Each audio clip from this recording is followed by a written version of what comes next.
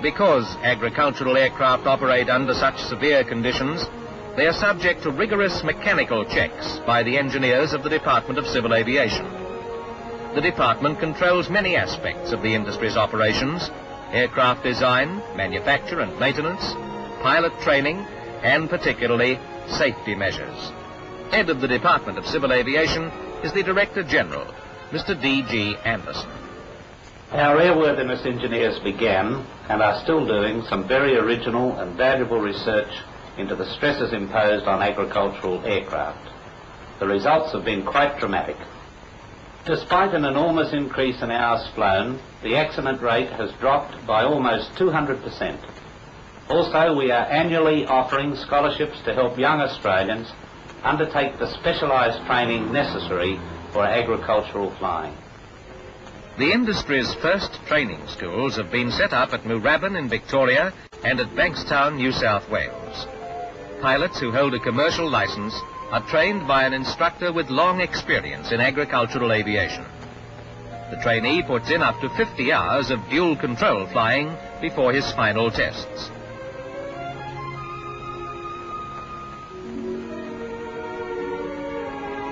Lectures are given on flying theory, as well as a basic course in agronomy and chemistry.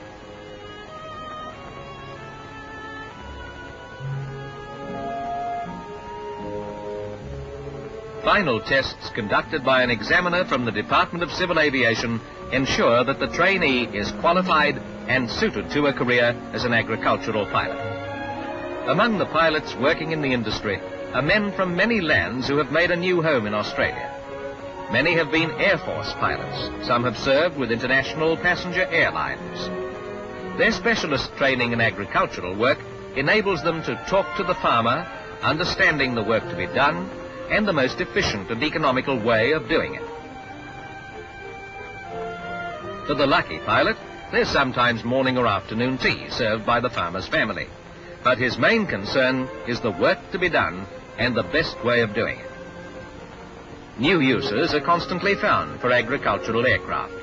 Pine plantations are being damaged by rabbits who eat the bark of the young pine trees, ring-barking the saplings.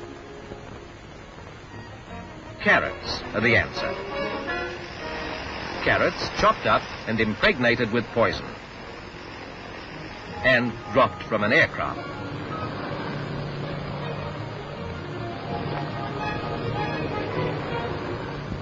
Dingo baits are also dropped from aircraft to protect sheep.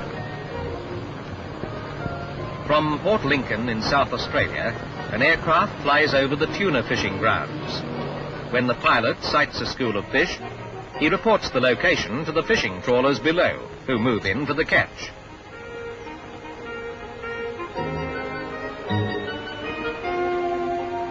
All over the Australian countryside, the work goes on spreading seed and fertilizers, spraying weeds and insect pests, protecting crops, assisting primary industry to produce more.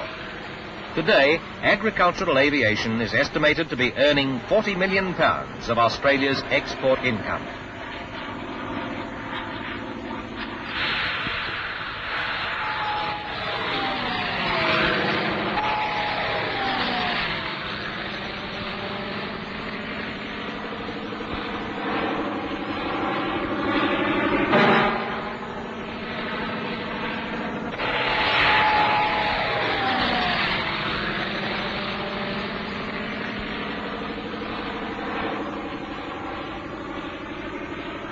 For the small farmer, as for big properties like Mirani in New South Wales, the King Ranch cattle stations in several states, or the great wheat and sheep property of Erregulla Springs in Western Australia, aircraft are a major factor, increasing yields from pastures and crops.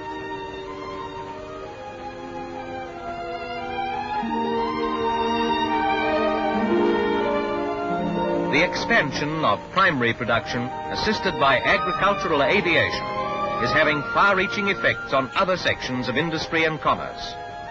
A greater demand on the mines producing pyrites used in the manufacture of chemicals. The construction of plants in every state turning out new and improved fertilizers, insecticides, and weed killers. Increased yields from the land bring the need for more transport, greater storage facilities, more ports, and more shipping to export surplus production. The fast-growing cities and towns add to the world's demand for more food, for increased production from primary industry.